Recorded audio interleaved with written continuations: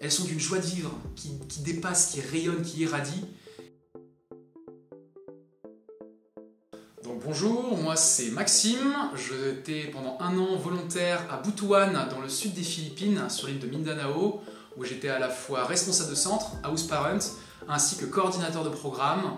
Et j'avais à charge du coup le suivi, la gestion et l'accompagnement de 15 programmes de parrainage dans la région.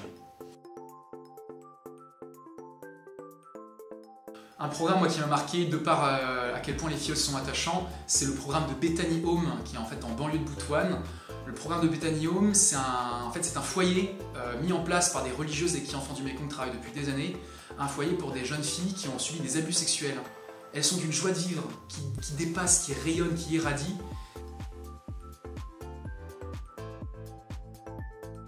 Un lieu qui m'a marqué pour moi, c'est un village euh, d'indigènes de la tribu des Manobo, dans laquelle je suis allé courant août. Donc un lieu qui est perdu, qui était suspendu en dehors du temps, en dehors du réseau, euh, perdu dans les montagnes de Sibagat. Il fallait deux heures de abalabal, de, de motocross un peu particulière qu'on trouve qu'à Mindanao pour y aller. Et c'était un village de 200 âmes, d'une tribu en fait de chasseurs-cueilleurs qui se sont sédentarisés il y a seulement, il y a seulement une dizaine d'années et qui du coup tentent de se développer avec leurs techniques agricoles pour euh, changer de rythme de vie. Et c'était un lieu d'une simplicité, d'une beauté au milieu des montagnes. Bien qu'on ait la technologie, il y avait enfin, un minimum de technologie, c'était vraiment comme suspendu hors du temps.